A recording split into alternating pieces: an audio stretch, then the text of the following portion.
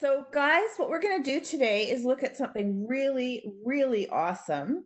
And this is a new program for me and for Miss Allyson, I believe, and for Katie, because, um, and we're going to talk about innovation. In the newsletter, we talked about innovation and how innovation and need changed um, uh, how we live. So, right now, we're being innovative this is is being innovated because we need to meet a need. So Miss Allyson is going to talk a little bit about innovation of tools in ancient times. And I bet we're going to have a lot of fun because it'll be involving guessing and oh, all those things that we love. So over to you, Miss Allyson. Okay. Hi, everybody. I've been missing you all so, so, so, so much. I hope you guys are all well. Um, I have been, it's only been about a week, but it feels like each week gets a little bit longer and longer. So I'm super, super excited to get back in touch with all of you because I literally think about you guys all the time. And you are correct. This is going to be a little bit of a new program, but we've all met so many different times. I don't want to keep showing you guys the same stuff. So I went back and I really thought about this idea of innovation and I wanted to kind of explain how we understand innovation, not just today, but also in the past, and also how innovation that we can see all across the globe, right? How we actually can see that be something um, that we can explore and connect to our lives today. So, this is going to be one of those really chatty programs, I'm hoping. I'm going to share screen and I'm going to do more of a game where I'm kind of going to ask you guys to look hard and use the, that chat feature so that I can make sure to hear from as many of you as possible. Because you guys, the one thing that I take away from every single amazing program I do with you is that you guys teach me something every single time we meet. So I'm hoping you can help me look a little bit closer at some of our objects and really think about what is technology, how we define that, and how was that really defined in the ancient world. So I am going to share my screen with you so that you guys um, can make sure to see it. I am going to pull this up because I always like to make sure that I have my chat box that is over here, guys. And I always look at it in the wrong for the in the wrong window like a silly. Okay. So great. I have everything set up. So for those of you that I've met before, sorry, but I do always like to make sure that we know where we're starting. You guys meet so many amazing colleagues of mine in the content providers. So I just like to give you guys a little reminder. This museum you see on screen here, this is where I typically work. Unfortunately, I'm not allowed in that museum either. We actually right next door, so you can kind of see it right here. This is actually the University of Pennsylvania Hospital or the Hospital of the University of Pennsylvania. And they right now have many, many first responders and many, many researchers, not only working to save and um, uh, hope to bring help to many different patients, but they have hopefully lots of work to do in trying to help us you know, see how we can get people better even before with what we have. So we're not allowed in our building, but what's really cool is that in our building, right, that's located in Philadelphia, Pennsylvania, we study archaeology and anthropology. Now, typically I start out with that idea of archaeology, but I do want to just kind of focus on the study of humans, right? Because our goal in the University of Pennsylvania Museum is really to just study all of our stories. Our stories are the human story. And we want to make sure that we not only find objects that can kind of help us date history, right? But we also want to make sure, like always, that we connect to language, right? Because I always say that people have been around for a hundred thousand years, but we've only really been writing for 10,000 of them. So we really look hard at not just what's written down, but what other things are people using to communicate with us to help us tell all about the world that they see around them every day. You guys know about our bones. We have the animal and the human remains. I'm not going to talk too much about those practices today because we can dive into those anytime. Instead, we're going to talk about how technology and innovation really connects to culture, our understanding of how groups of people connect. Now, what I decided we could do, because every time I meet you, I tell you about we have a global collection, they come from all over the world. So I thought, why not spend some time looking at different parts of this collection, looking at different parts and objects from around the world that we don't typically get to chat about. Now, the majority of what I'm going to show you guys, it comes from archaeological excavation. So at the museum, at the Penn Museum, our collection has about 1 million objects. So, not saying the objects don't remember include the physical remains. We have 1 million objects, okay? And we have a lot of those objects, like we talked about, have scientists that help keep them in place. They have these amazing archaeologists and keepers that help them stay intact so people can keep studying from them, right? Now, what we're going to do is think like researchers today. Now, when we meet, sometimes I tell you, archaeologists, what they do is they use their eyes, okay?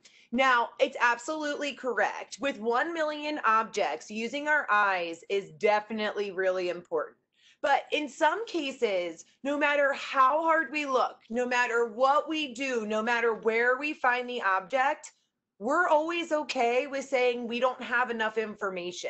Sometimes you just don't know enough to say this is how somebody actually used it. This was the purpose of the object.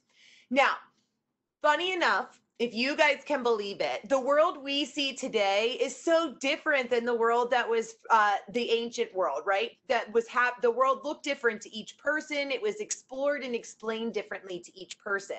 So sometimes we'll have objects in the collection for like over 20 years, over 100 years even, and have no clue what it is have no clue what its real function was in society. So what we did was, and you guys can check this out on our YouTube channel. In 1952, we decided to create a television game all about this idea of these obscure or these you know difficult to understand objects in our collection so what you see on your screen here are some uh, some screen some uh, actual photographs from our archives right so I put it right here in this little um, old film reel because this literally was um, broadcast from our basement, guys. So when we all get to meet in person and we all get to explore the Penn Museum together, we can go downstairs and I'll show you where this was filmed. Our host was the director at the time, uh, Director Rainey, who would gather different experts from all over the Penn Museum. Some of them anthropologists, some of them archaeologists, some of them linguists who study language. And what they would do is all gather around one object and they would ask questions. First, they would ask questions, which was pretty clear that they would have an assumption, what they thought it meant. Then they would draw back with our specific director, they would be encouraged to think more about how they're looking at the ob- object, which is what we're going to kind of do today as we play around. Now, I like to think of this kind of as um, a doctor, like if you were going to go to a doctor visit. So, this is the first time I'm going to ask us to use those um, chat feature. If I wanted to do a deep description of an object, thinking about how I could explain this to somebody if nobody saw it. Can you give me some suggestions in the chat box? What are some examples of features we might call out to help explain or describe an object? What are some key words of what we could use to describe? Cool. So somebody's saying that we could describe if it's older, right? Okay, great. What else? If we think about an object, what are some of the basic features that maybe we could name? So maybe time, how it looks. Okay, great. That it's an artifact. Okay, great. So let's think about breaking it down how it looks. How could we describe how something looks? What's what are some features we might name? If we think about how it looks, some basic ideas. Like if I wanted to describe how this object looks, this object I'm holding in my hand here, how would this look to you? Great. So it's color is a really good example. So if I use color, I could say this is a brown, kind of a brown to a light brown color. What else could we do if I was looking, if I wanted to describe this object you see me holding or any object? The size, great. So I can say right here, it fits in my hand, but it's about a little bit smaller, about the palm of my hand, that it's a full shape. I love that you guys say shape, right? That it's in a circular motion, that there's texture. Absolutely. And then we have a question, how do they use it, right? That's the question we want to get to. So really, really good job, guys. So what we always like to say when we're thinking about, oh, and I like that Charlie, great job saying feeling, right? How it feels, that texture when you feel it. So for me, this object that I was using as an example, this would be really smooth, right? It wouldn't be hard or rough. Really great example. So you guys pretty much named it. We're thinking about the material. That's where we're going to bring in that structure, that uh, that texture, the idea of the shape. What is it? Round? Is it tall? Is it standing? Does it look like a line? Is it a color? Right? Maybe the color can even help us think about um, the material, the idea of the size, and if there is a design. So not only is there a texture, but if you look closely with my object here, you can see while it may not look like an artistic design, there is something going on, right, with that object. And then the other idea when we're thinking about archaeology is it damaged, right? Is a piece of the material missing? Are we losing information? Because remember, we don't want to add anything. And then also attachments. When I say attachments, I mean, does it look like it hangs like a pendant from a necklace? Does it look like it's a handle, something you can grab and drink from? These are some of the examples that we like to kind of slow down and help us look. Now, that's only number one. Step number two, right, is making sure that we're going to ask questions that aren't answerable. So our goal is to say, if we could answer it through one of these observations, that's not a big research question we're going to dive into. Instead, what we want to do is ask deeper questions. Like some of my friend, like one of our friends said, how did it get used, right? Who was the owner of the object? What was uh what is this like what was the significance? Was it produced widely? Where did the material come from? And was this area, was it made in the same area in which it was discovered? Now, these are just some examples. What are deeper questions you guys would have? So if I have this object in my hand, my little uh, artifact I'm using as an example, do you guys have any other questions to add on aside from what you see? What other questions could you guys add on? to what you see on the screen. I know I gave you a whole bunch of them. My animation did not work well. Great. So we all we so we have some questions about the design. So what is the design like? So we can see that the that's a great question, Charlie. So you can see all around my object that there is carving, that there is a design that's on the bottom, that's on the side, on each side, all four. And then even right here, you can see there's a light carving. Then it has an idea of height. How big is this, right? So going again with that idea of something that we could answer, we could actually get a tape measure and we could say, this is where this would come from, right? Now, just to give you guys a little bit more information about my object here. So how is this object used? This ob uh, what is the purpose of the object? Great question, Maddie. So the purpose of the object, that's what we're really hoping to find not only because of the object connecting to a specific civilization. This here, for example, is an object that is whittle, that's handheld. It's a cir- it's circular, but if you look closely, the object is actually a person. This relates to a specific tale in the Brahma Gita connected to Lord Krishna and the story of a weeping Buddha. How people use it is not only honoring that story, which connects to South Asia, the area of the world, but I was given, I was given that this was given to me by a friend.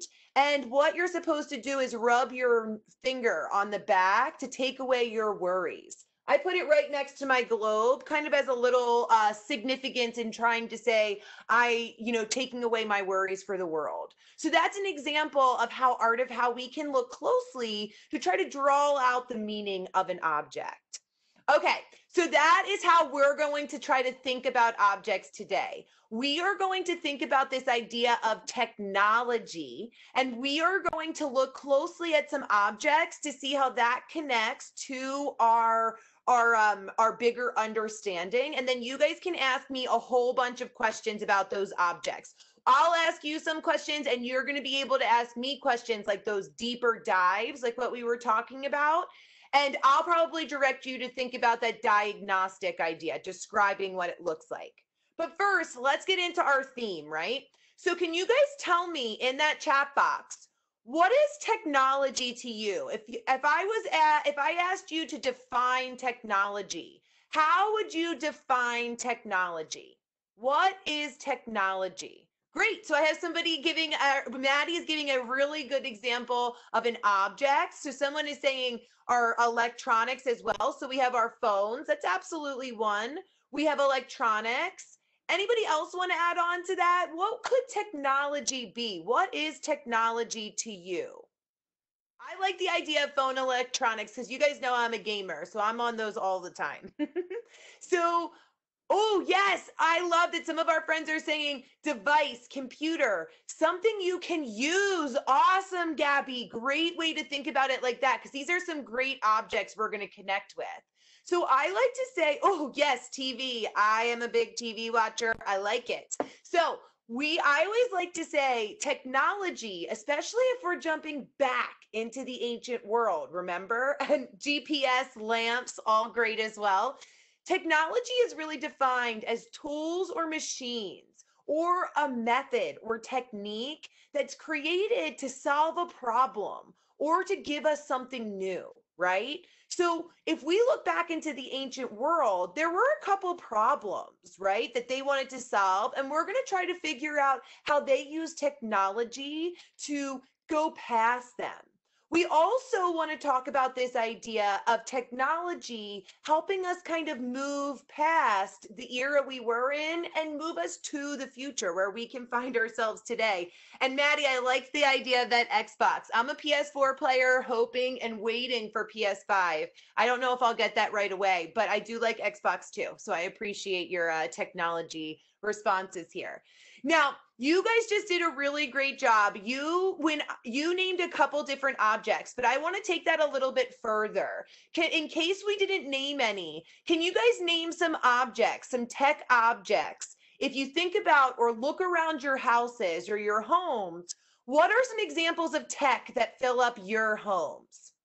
So we already talked about phones. We talked about different computers, TVs, lamps. I love the call out of the GPS. I like Xbox. Um, again, the phone, the Wii. I like that. Oh, and I love that you're thinking about the appliances in your home, like the stove, a printer. You're so lucky. I don't even have a printer. So that's super, super exciting. A printer, a microwave, really great ways of thinking about it. What about how we move around, guys? What are some examples about like moving back and forth on like things that we see maybe outside of our home? Oh, Katie, I love that idea of a door handle. Great one. T PS213 and 4. I like it. Cars, water horse, drills. Oh, I am really impressed. Cars, treadmills, Nintendo Switch. I like it. Hopefully, you guys are playing some Animal Crossing. You can find the Penn Museum on there. Tools, Great. You guys, I am a chainsaw. I like that too. Oh, and especially the idea of drills, chainsaws. These are definitely things we can see evolve over time. Scooters and a remote. I mean, guys, think about it. Just a couple years ago, people had to get up and move the television on there with a knob. Can you believe it? Definitely that remote is fun. Um, I also like the idea of clocks and bikes. Good job. And yes, we can. Animal Crossing. We'll get into that at the end, but we are on there, guys. You can see the Sphinx in it. It's super fun. And you can make yourself an avatar with the museum shirt. We can talk about it later, though. Okay, cool. So, what you guys just named in the objects you were talking about, right, was this idea of communication. And guess what? We don't just have phones today. We actually see when we look into our collection, jumping back into ancient Mesopotamia or the ancient Middle East, we see this idea of communication being a true technology. The moment someone put reed to clay, we actually see how that communication began. The idea of transportation. I love that you guys not only named the cars, the idea of water, um, the idea of a ho like a kind of a horse getting us to different places, but the idea of a bike we 100% have different forms of technology that help us transport. And remember, not just ourselves. We can visit ourselves, of course, in airplanes, cars, but we also have these really big forms of technology ships, trucks, airplanes they can help actually bring goods from one area to the next, right? So that's a really, really big innovation when we connect to transportation and the idea of these devices that you guys named in your houses from the idea of lights which really can be in and outside of the house i love that someone named a stove and also the microwave sometimes these are innovations that and TVs and PS4s and Xboxes. I don't want to leave any of them out and all of the iterations of our PS our PlayStations.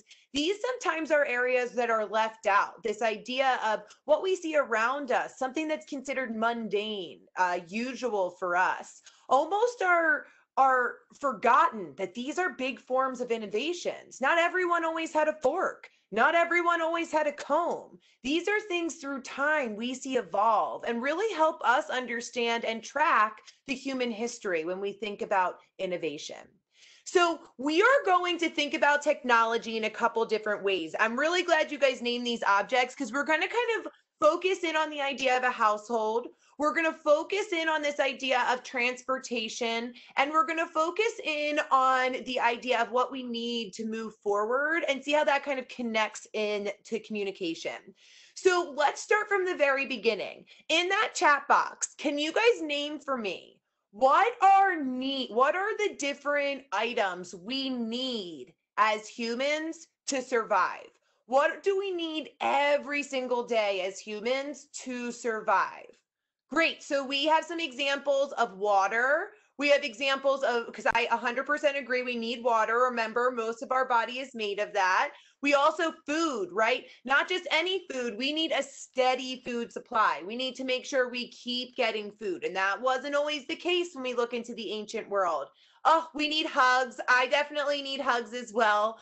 Um, and we definitely need shelter. I love that we say shelter or somewhere to sleep um, I agree. Bug spray is something I can, I feel like I need, but not something we need, need to survive, right? we definitely need some warmth. We need the idea of shelter so that we have uh, somewhere to sleep where we'll put something to go to sleep and the idea of food. And thank you. You guys also named clothing. I really really love that you guys named all of those those ideas. So warmth could be in the form of clothing. That's 100% true. Also blankets another really true example of the use of textile and also this idea of different tools. Really, really good job in how we'll get there. So we're going to look at specific objects and we're going to connect them to some of these big threes. The big three I'm thinking is more shelter, the idea of food, and the idea of drink, having that steady water supply. Now, I do like that you guys are thinking about clothes, and I will tell you right here, these are objects from ancient Mesopotamia, one of the earliest settlements that we have a connection to, Tepe Gawra. And right here is a spindle whorl. This was actually used to make clothing. And right here is a storage vessel that we saw, that we actually discovered. And it's almost like the, like literally guys, it's made, um, it's a rough texture, just to give you a basic description. It's made of clay, so it's a little bit coarse when you touch it. And it's almost the size of my body. So it comes up to about my, uh, to my waist. Okay. So we are going to look at these three concepts an idea of cup, which I really mean drink. I don't know why Miss Allyson typed that. Food and this idea of tools. Okay. So let's look closely at one of the objects we are going to look at on this world map. We're going to look all over the world today. So, right here is my first object. Can you guys in that chat box tell me, describe to me what you're seeing in this image. Describe what you see. And I will add on to what it may be. So we have some friends saying that they think this here could be something connected to a cup. number three. And we have another friend that said it looks like a shell. Absolutely. Oh, we also have a suggestion. It could also be used as a spoon. So maybe it's um maybe that's what connects it to food. We have an idea of a shelter comes up as as well as number 1. So I will definitely, good job, guys. So I'll definitely let you know this is a shell. It is made of a seashell. You can see that it's kind of halved, which means part of it is cut off. And this is rather large. The base, what you see me circling, this circular part at the very top left, this would actually fit into the, about the palm of my hand where this right here, a long fixture that comes out that looks kind of like a spout, that would be about the size of my finger. Okay. So it's handheld. It is made of seashell or a shell, and it does kind of become the size of your hand. So it would be able to be used as a handheld object. So, my friends, go ahead and put in your last guess. Do you think that this was used as some part of the shelter? Number one. Do we think that this was maybe a fork or a bowl, like what's been suggested in our chat? Number two. Or do we think that this is a vessel you would drink from? Number three. Let's see. You guys have a good between two and three. It is, in fact, my friends, it is connected to a cup. Very, very good. It is a shell cup. Now, I really love this object. It not only reminds you that vessels, the idea of what we drink from, is a really important technology because we go from what's been discovered in our area to the glass that we eventually blow and put different types of designs on. So we really see that innovation move forward. This is actually one of my favorite objects in the collection. It comes from the north, um, the um not not northeast i'm sorry guys the east coast of the uh of the united states specifically in um, an area that's excavated in Mississippi. So there is a connection to Native American nations here in the United States and their connection to mounds. This cup specifically comes from that area. And something that's really exciting, a dig that we don't normally we don't normally get a lot of archaeological excavations here in Philadelphia. And one of our archaeologists uh, really dedicates a lot of her time to this. And she was able to create an entire uh, exhibit about what was discovered and the meaning of mounds, which is really, really, really special. Um, and a really special thing I hope we can explore together in the future as well. All right, guys. Now, I want you first, before you guess your number, I want you to tell me what do you describe the object on the screen? Describe it for me. What do you see? And what questions may you have about it? Okay, so describe what you see. Great. So one of our friends is saying that there's a shell. They see a shell. I agree. I definitely see shells as well. What else do we see? So we have identified a shell. Is there anything else that we notice? Maybe, oh, maybe it looks like a spoon. So there's a suggestion of it's a spoon. A, an, a question, does it, is it a musical instrument? Maybe a rattle because, and then our other friend was saying that right here we see a stick connected. Very, very good. So we've identified one element, shells. We've identified another element right here, a stick. What have we forgotten? What's something else that's included that we haven't talked about yet?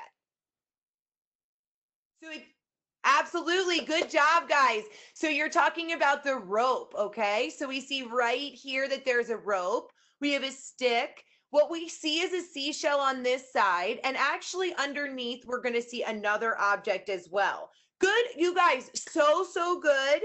Now, tell me, what do you think this was used for? Do you think this was a tool used for shelter? Or do you think this was a tool used for food too? Or do you think I'm being tricky and saying this is another another uh, artifact used for three, a drink? What do you guys think? One, two, or three? Awesome. It looks like, here we go. It looks like two is winning, and you guys are correct. This is actually one of my favorite, favorite objects in the, these are actually all, a lot of my favorite objects in the Penn Museum collection, but I have a special connection to this one. This here is an octopus lure. So first, look at how great you guys did in your description. So number one, you identified a specific shell. So these would be two shells that are wrapped on top of a rock. That's giving us weight, okay? Now, what we see is that rope, okay? The rope and that's uh, that you guys connected with, and the idea of a tree, the stick, actually connect to the uh, coconut in the area the Pacific the Pacific Islands where this object is from, it actually this area actually uses coconut, the different forms of coconut to create that texture that we saw as a rope. And the tree branches would be broken to make that long stick. Now, let me tell you what we can learn and why we can learn about it. Now, we know that this becomes a steady food supply, a way of actually luring in and capturing octopus, which would be a great way in the Pacific Islands uh, specifically this area of the world and this object coming from Fiji. So, this area of the world is called the Pacific Islands or Oceania. It's a whole collection of objects of sea bearing peoples, which is amazing. Australia is even connected in there, and you guys will meet Mr. Ben next week. He's really wonderful. So our octopus lore actually comes from Fiji. And what they would do is place this. There was a lot of seafood that was eaten, a great way of getting that steady food supply. Typically, we're thinking more about what happens on land. So I wanted to give you a different example as well we actually know not only would this lure in an octopus, it being something it's attracted to, thinking it could eat the octopus, thinking it could eat the lure. Instead, it would be a hook attached to pull up that octopus to give the food. But also, there's a legend in this area that said that an octopus gave a rat a ride over to shore when it got pushed off a boat by some other legendary creatures after the octopus gave a nice ride, the rat was not very nice, and the the octopus had swore vengeance moving forward. Which is why, if you look really closely, you can see how right up here we have that body and a little bit of a nose, kind of like a rat, and then right down here, that stick kind of looks like a tail giving us more connection, not just to the materials and the necessity that this innovation filled, but also a little connection to the legend, which I think is pretty fun. All right, guys. Now, our very last, does anyone want to tell me what do you think this object is? You may have seen it before. I know we talk about Roblox now some, but I'm a Minecrafter. This is a very important material um, in Minecraft. It is it is a volcanic glass. So we had a suggestion of a stone. But who can tell me what is the material that's considered a volcanic glass? You might need, and it is, yes, Charlie, it is shelter. Very, very good. So this would be something connected to shelter. And this, guys, is obsidian. So if anyone's like me, they absolutely may have mined and worked really hard to open some portals to get some obsidian. And this comes from ancient Mesopotamia. I had one of my friends actually record a video. I think I've showed this to you guys before, but this is an example of how obsidian is used to create tools, okay? So the tools, sorry, I'm just going to pull this down. So the tools here are actually the obsidian core, which we saw before. This blade would be made with the back of an antler, something used from the animal. And what would happen is you would not only have this blade, right, that's maybe as sharp as a butter knife, typically what happens with these obsidian blades is that like you'll see in this video here they'll be backed with wood or bone. So not only is this really really sharp so it can be a kitchen tool it can be easily made a blade to become a tool to chop down the different things needed to make your home or stabilize your home. So this is an example of how tools are made to kind of create those different forms of shelter all right you guys, so, so good. Now I want to play a game because we have a really big collection from um, the ancient Mediterranean world. We've talked about Rome before, but we also have objects from Greece, and we also have objects from uh, the Etruscans, the Etruscan civilization, which is actually one of my favorites because you can talk a lot about metalwork. Now, what I'm going to do is I want all of us to kind of do the same idea. We are going to think about different things that we do in our houses. So we all have to hopefully right? We all want to make sure that we're washed up. So we have, um, we're going to talk about what was the first form of like a washcloth, or if you like loofahs, I put that up on there. Um, we also have the idea of clothing. Now, people may not think that a safety pin is a technology, but trust me, if you need a dress to close or if you lost a button, a safety pin is an extremely important form of technology to keep that clothing up, right? Now, I also like the idea of a story, but I'm not just thinking of any story. I want to think about a visual story, the idea of our comic books using pictures to tell one story. And then our friend um, earlier today, I was so impressed. They kept talking about a light, right? Thinking about a light source. How are we lighting up the space? That's one of the most important innovations that we can come across. Okay. So, we're going to look at objects. I want you guys first to think about before we answer our question. So no numbers. First, I want us to describe what we see. Then I want you guys to give me the number and then give me a reason why you think that, okay? So the first object we're looking at here, give me some good words to describe the object. Remember, we're thinking about those basic features. Describe that object, thinking about the things we've discussed before. Great. So we have a suggestion. This is, it looks like it's stone and that would make it hard. Very good. That it looks like there's carving on it or some type of hand design. Very good, guys. And that there's a question of maybe it's a candle holder. I like it. So just to give some of those basic features, right? You guys talked about this being a hard material. It is. It's not only hard, it would be smooth. Very good in talking about the design that was made by hand. I like that you're seeing that there's like two different forms here, right? So it looks like a candle holder because we have one circle inside, and then it looks like we have a larger circular base. Somebody's giving a suggestion of maybe this could be an olive oil pourer. I like that idea. I also like the idea of a candle holder. What other questions do we have about it, guys?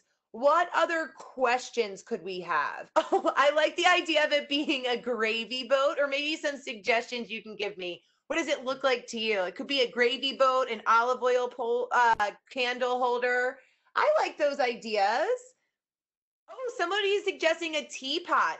Maybe it's used to pour out. Absolutely. So good, guys. You guys are doing really well. So you gave me the basic features. What I always like to say is just to connect to your to the basic features you guys brought out. So we talk about somebody said maybe it's stone. So, what material is it? Is a really good suggestion. We just got another question. What area is this from? What specific area did it come from? And we could take that question even further. Was it made there? Right? Was it found by the person that made it or owned it? Really good questions, guys. So, let's check it out. First, you guys tell me. Now it's time for you to give me a really good suggestion. Do you think that this object could go to washing? So we talked a little bit about a gravy boat and candles, not so much about washing. Could it be something connected to clothing? Is it telling us a story? We talked about that design. And then we also are talking about light. What about, what are we thinking? Overwhelmingly, we have a number four. Good job, guys. It is 100% an oil lamp. So our friend that suggested the olive oil pourer, Charlie, you're not wrong at all, actually. So before there was torches, right? Do you guys think you'd want to walk around your house like this, just carrying around a torch? You can go ahead and tell me in the event chat. Anybody interested? Just walking around with a torch? Yeah, no way. Nope, I don't think so. And they definitely did. It wasn't until Edison or Tesla, depending on who you want to agree with in that argument, comes up with electricity, or do we have the light bulb, right? Now, the first iteration, what we see is actually an oil lamp. So, what would happen is right here, olive oil would be poured into this center hole. And instead of a candle, because that was just a little too expensive, a piece of clothing would be pushed right into this top hole here. That clothing would be pushed down to the circular base. It would be a puddle of olive oil. It would be lit and carried through the room so that you would be able to kind of light up each space like we do with flashlights or our lamps today. And we have a question in the we have a question for Miss Malley in the in the chat. Is there anyone here that might have I actually got to connect with a school group, which was so wonderful. And they told me about how they actually have a lamp that is similar and connects more with um, animal fat, that seal fat can be used to uh, within that lamp. Does anyone have any connection to that here today? It's okay if you don't. I just was wondering if anyone has seen or connected with uh, an, a lamp that might function similarly.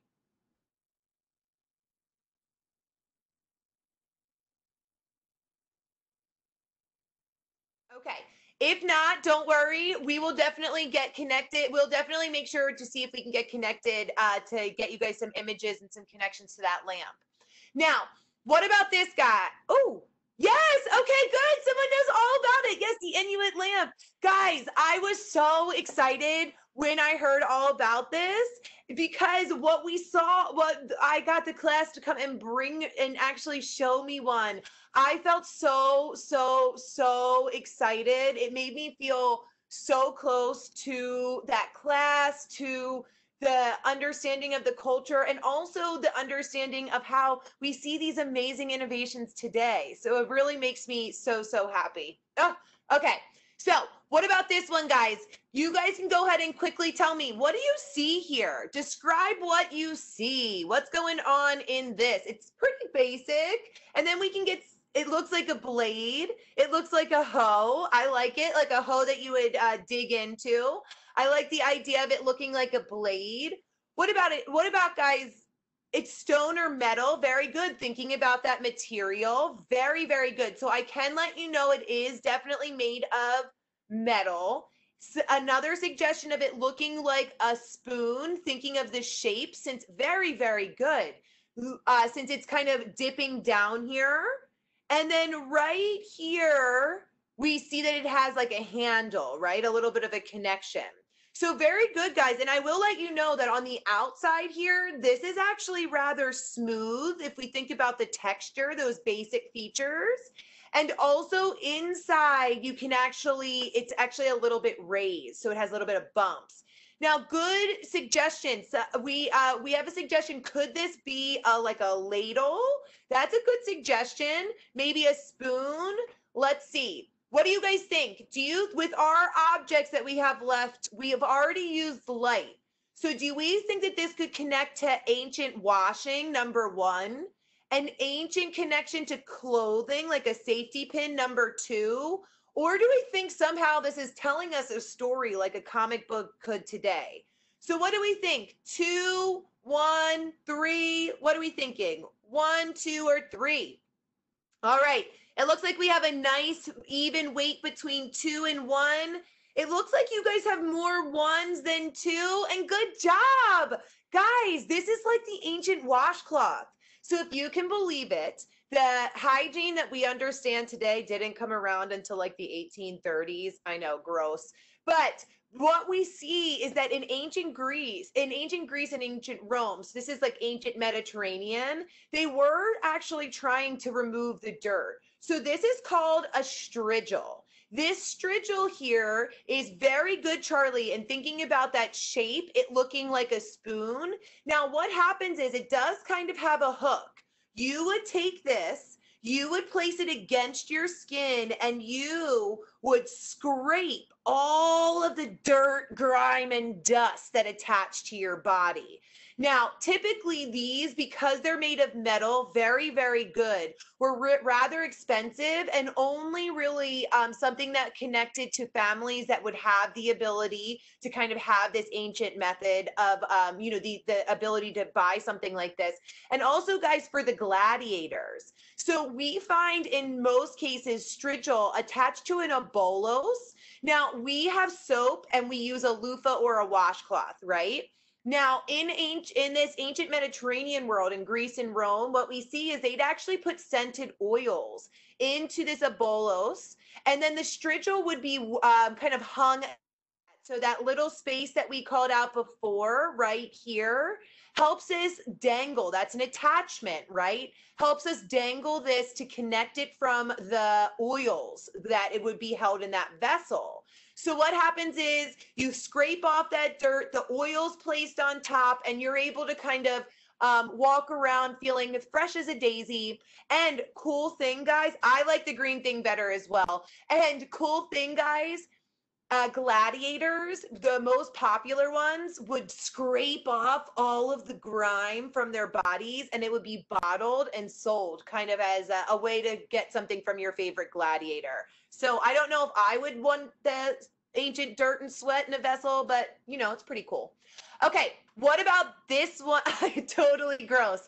What about this one, guys? Tell me really quickly what do you see? Describe a little bit what you see there. So, suggestion of the material being stone. We're talking about it, uh, the design. So, very good looking. You can see really closely here. There is a little bit of a design feature here.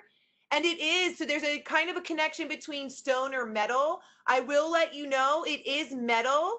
Maddie, great. I love that you're thinking it might look like a hair clip or it might be in a clip shape. Guys, I am so impressed. So go ahead and tell me, what do you think it is? We have two options left, two or three. Do we think it could be a connection to a safety pin or there is a design we called out? Could it be telling us a story? You guys are so good. It's 100% a two. Now, it does kind of, it doesn't look as plain as our safety pins are. Very, very good. But this is actually really, really significant. We see fibula, the first form of a safety pin, be used not just in the ancient Mediterranean world, but we kind of see it across the ancient world. So this would typically be used to wear a toga. So togas weren't used every single day. Togas were kind of fancy dress. So what would happen is once it was wrapped, a fibula would attach right up in the shoulder area of the toga. Now, what would we also see is in burials, people would give fibula as a way of honoring the person that before. Typically, these had connections to very wealthy families and even military um, assignments eventually. So, um, same as yes, it is. It's like the same of the net as one of the legs in your in your body. And Charlie, I am so impressed. If you see here, you can kind of see how both of these very thin pieces kind of do look similar to the the bones in our body, like our anatomy, right? So we have a thicker bone and a, a thinner bones. We definitely see that connection. Really good association. You are an archaeologist, all of you. All right, guys, our very final one, I'm going to let you know is a story. So instead of comic books and books that we might see today, typically they were writing on papyrus, and papyrus wasn't always in a book format that we're familiar with. Quite typically, that could be in scroll form um, if it wasn't just one sheet. So, a lot of times, the stories that we're told and that we see in the ancient Mediterranean world are actually right here on painted vessels. It's one image telling one story. And this here, guys, is actually a connection to a specific story of a family. And this individual right here is holding a strigil. So I thought that that would be something really, really um really fun to show you guys and i do like that you guys are talking about the description so some of our friends are saying this is this in the shape of a pot that we see that it's in a vase shape We see attachments here too, guys. These are our handles. And we have two different designs. We have design up top that's more of like a fresco feature patterns. It looks, and then this great painting, I agree, of two images that are telling us that story. The same way we might look at the, the comic books today. Now, I don't want you guys to think this is the only way we find information. In some cases, we can look in some of those early artifacts and discover stories that not only connect to the animals in the area, but we see symbols representing to gods and goddesses. So we have a way again to connecting to those cultures. So the we had a question we had a question about the texture. Really great, really great question. The texture of this object is this so this is made of clay. So and because of the painting and the firing, this would actually be really smooth and soft. So the texture would be really extremely soft. Really great question. And this artifact is called called a vase. So it would be called a vase or a vessel. Really good question, guys. Really good questions. So I'm just going to end our, our last bit here and talk about Asia, uh, specifically the Silk Road. So if we look here, we can see lots of different, um, lots of different artifacts. Can you guys tell me in the chat box really quickly, using those wonderful diagnostic eyes, what do you guys see that is the same in these objects? Name a couple things that you see that are similar in these objects that you see on the screen. Great. So somebody's calling out chariots. Absolutely. So we have a whole bunch of what looks like chariots or wheeled um, transportation methods. Great. So we're talking about animals. We see lots of different animals and we also see people. Great. Can you guys name some of those animals? Yes, calling out that transportation. I love it. Name some of those animals for me really quickly. Great. So we have uh, some of the connections of the ideas of transportation, how they get around. We have camels being named. We have horses being named, absolutely. And I'll let you guys know these are typically the horses right here as well. So one innovation we have here with transportation is the idea of domesticating animals to get from place to place. We see camels eh, be used in areas that are deserts, right? That that's really where we see a lot of that connection. We see horses be used across the ancient world, and one of the biggest innovations that our our friend named is the idea of a chariot, the wheel, how you're getting from place to place. Oh yes, Maddie. So this is just a fragment which means one piece of a coffin. So this was something that was um, drawn on somebody's coffin as a way of taking it to the afterlife. Really good question. And then also, guys, what you can see on these camels and these horses is they all have saddles. If they don't have saddles, they have reins that connect them to what they're transporting. And the uh, the people there are extremely important because they're not only moving from place to place with them, but these individuals are responsible for these transport, right? They're going to make sure these animals and these new innovations like the wheels and chariots are in place. And the people inside those chariots, trust me, they are important. Okay. So these are some connections to why transportation becomes so important because eventually, eventually what we see is transportation is what helps connection. In the ancient world, people begin trading and bartering back and forth. There are areas that have specific objects and materials that not everybody has, right? So they start trading from one good to the next. Now, oh, that's fun. So now what we see and what's most important is that we need to communicate. And that comes to one of the most important innovations we had a hand in connecting uh, or helping um, a hand in helping discover, which is the Rosetta Stone. So the Rosetta Stone is specifically from ancient Egypt. It's a way of helping us understand how people communicated. This is just one example of an ancient language, but I thought we could play around a little bit to explain how this was deciphered. So now we have the idea that we have everything we need, right? Our shelter, our food, and our drink we have things that we want, right? How we're going to decorate our household and make sure our bodies are clean, how we're going to be entertained with stories and make sure our clothing stays up. Then we know, okay, we're moving around. People are able to really expand how they're walking, how they're using rivers, all of that fun stuff, how they're using animals. Now let's talk about that communication. This is going to be our last piece here. So basically, the Rosetta Stone is broken into three separate parts. The very top part is ancient Egyptian hieroglyphs, a pictorial language. This type of symbol is what we call a pictograph. Guys, we have pictographs too. It's just like emojis. So tell me, what do in the chat box, if I gave you this emoji sentence, that's me waving to you, can you tell me what am I telling you in this sentence? If you want to read my pictorial sentence, my emojis, similar to how ancient Egyptian hieroglyphs are used up here, what do you think I'm telling you? Go ahead and give me some suggestions. So this is me. What am I telling you in this emoji sentence? You're saying, Hi, I love books, eating, and games. Good suggestion. Any other suggestions? I agree. You have a really good suggest. You have some really good uh, feedback coming in there. So we have this, and then what we see is that in ancient Egypt they use pictures to connect as well. On the second part of the Rosetta Stone, we have a Coptic language, a move to an alphabet. I like to kind of connect that to the idea of our hashtags, right? So you guys are suggesting I love eating and games that I'm saying, hi, I love tacos and games. Really, really good. And then just like we see, oh, and look, you guys just added on. Hi, I love reading, tacos, and gaming, right? And as we can see in our second area, my hashtags here, I try to clear it up for you. I'm trying to say, hey, I love books. Hashtag, I'm always going to look for a hashtag with books. I always want to make my tacos better. I always am trying to game, as we've already talked about.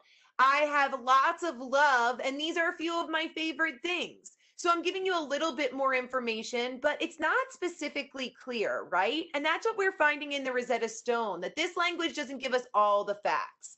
It's not until we get down to the third area that's written in Greek where we get to see a little bit more information, a way that today we're able to use this innovation in language to help us understand and translate ancient world language and writing and communication.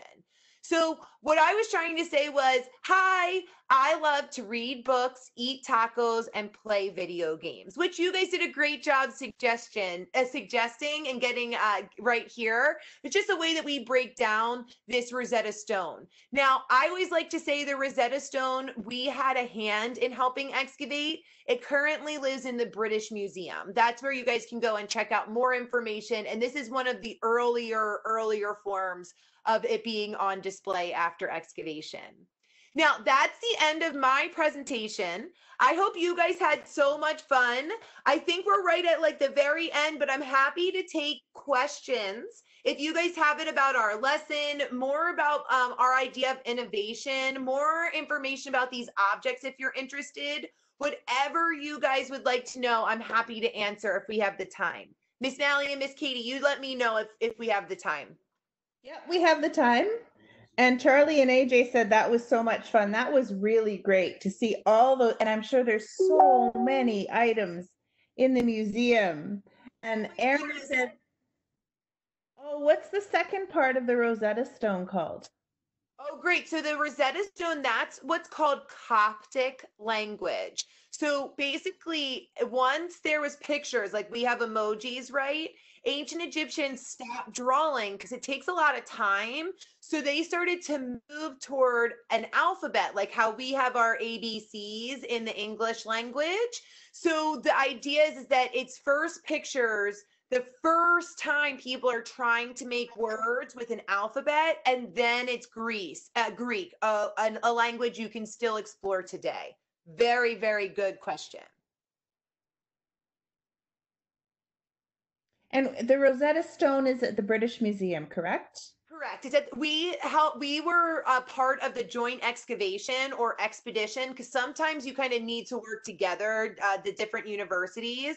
So this is one example of what we um, what we found together, but that stays with them.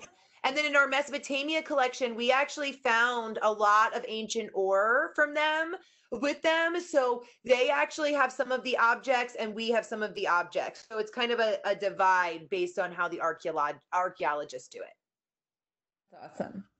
Okay, so I think that's really great. Next week, we're going to, um, y- I think Miss Allyson has a week off. I'm not sure, but we're going to do the King Tut tour um, and see the Rosetta Stone again. Um, and we cannot wait to be working with you all summer. So thanks, Miss Allyson. That was I- so awesome, Allyson. Thank you so much.